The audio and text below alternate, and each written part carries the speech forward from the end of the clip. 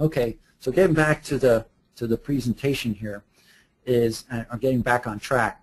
So what we need to do is is filter the SNP data, and so we had at the start 8,303 SNPs to start with on the Infinium uh, SNP array, and I have uh, colored in yellow here, shaded in yellow, the the SNPs or the filtering process that is really um, general to anything we really do. We need to be able to remove the questionable and bad SNPs, ones that aren't anchored to the pseudomolecule, ones that map to more than two locations. That's kind of kind of standard. And whether it's a diploid or tetraploid population. But uh, as I said earlier, there was only so many SNPs that that um, that we felt we could use from the custom five cluster calling, and that was a little over 5,000. So when we did this initial general filtering and then looked at the custom five, uh, five cluster calling, that filtered it down to 4,604. We've, we've uh, used 10% as a, as a cutoff for uh, no calls in the progeny. So if we have more than 19 prog uh, progeny where we did not get a call on a SNP, that was removed from the um, analysis. So that took out about 400 different SNPs. If um, the parents had a no call, we removed, removed those. That didn't remove uh, too many.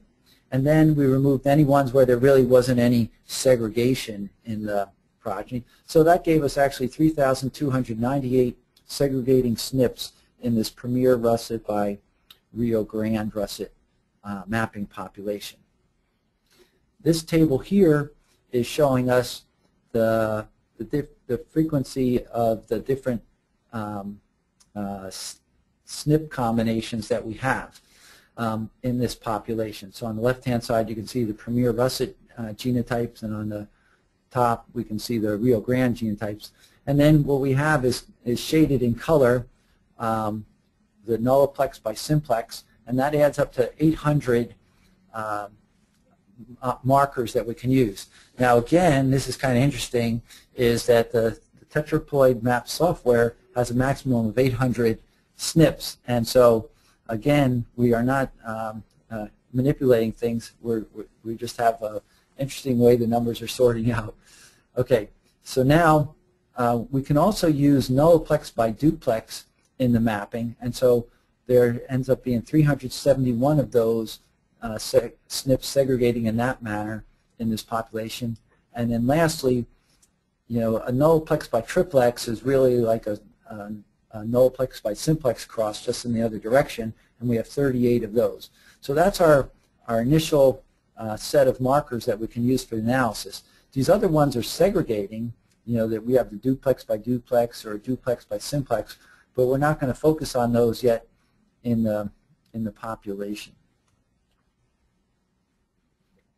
And so one of the things we can also do is after we see which SNPs we have is, well, where are these SNPs distributed along the chromosome? And so again, uh, Joe was using the, the JMP uh, uh, graphical uh, uh, interface to look at that. And so what we have here is in red the whole uh, pseudomolecule for each of the, the 12 designated chromosomes in the potato.